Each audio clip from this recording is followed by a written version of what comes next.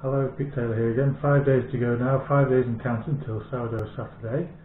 So I've got four more feeds to do for my two starters, my rye starter and my wheat starter.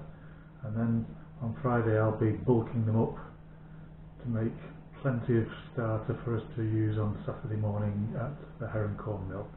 So let's have a look what they look like today and then I'll cut them back and feed them the usual feed of 25 grams of flour, 35 grams of water, and put them back in the fridge and leave them for another 24 hours.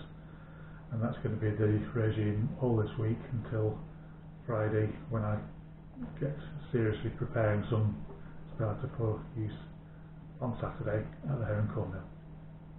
So here's the rye, it's settled down very nicely now, it's um, smelling something like sour milk at the moment not very strong anymore, um, quite pleasant, and